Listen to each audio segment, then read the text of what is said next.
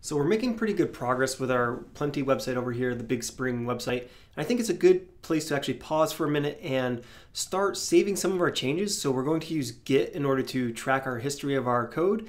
And we're going to push it to a repository on GitHub just to have a separate remote, just in case anything happens with a local computer and we can't recover the actual website. We can always go to the backup on GitHub and pull things down. So over here, I have my profile open on github.com. And I'm actually part of an organization that I created here called Plenti Themes. If I click into that, you'll see that there actually isn't any themes yet. So I'm going to use this opportunity to create the first repository for our first Plenti theme, and then I'll save the work that we've done on the Bigspring website over to this repository. So I'll start by creating a new repository, and I'll call this Big Spring. I believe that's the name that we're using here. Yeah, Bigspring. Okay, and then we'll come down here and We'll make this a public repository so everybody can see it. I'll add a README later, but for now I'm just going to create the repository. And you can see right now, it just gives you some instructions about how to save your work. So there's no code in this repository yet, but it gives a little bit of instruction about pushing an existing repository. So I'm gonna come back over here to our project and I'll just open up a new terminal here. And you can see that there's no changes being tracked. So Fish would tell us if there was changes. That's because we actually don't even have a Git repository initialized at all here. So I can start by doing git init and now initialize an repository in our Git project here. So when I click that, you see now that we have this little X here that says that there are some changes that aren't being tracked by Git. So if I were to do a git status, you'll see all the files that we've been working on. So this is basically the Plenti starter, starter code over here. And I would just track this code. And the way I'd add it to my index is do a git add, and I can say hyphen capital A. That'll add everything to my index.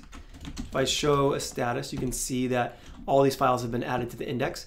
And then I can commit them to our history by doing a git commit, and I'll just call this initial commit. So it's the first commit of our project, and typically I would probably break this into smaller chunks to have more commits in our history, and that will allow us to go back to different points in our specific history. But for now, we'll start here because we haven't done anything before.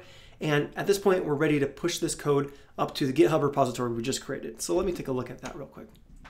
So this is how we add to a, uh, we add this command to our existing repository. Basically, we add a remote. So the remote is a way to push to this remote GitHub site.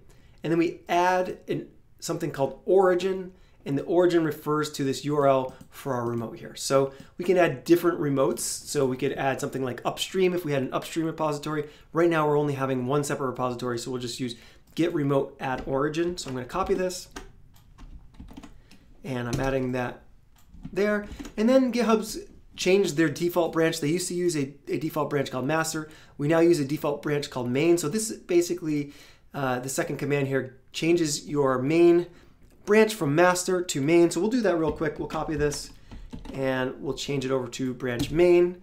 And so now our all our working code is over here on the main branch. And then we'll just use that to push our main branch up to GitHub here. So I'm gonna copy this and paste it. So we're doing a push upstream to uh, origin main. And then from here on out, when we want to do git pushes, we can actually simply write git push. And so let me add this command, run this, and I'll come back over here.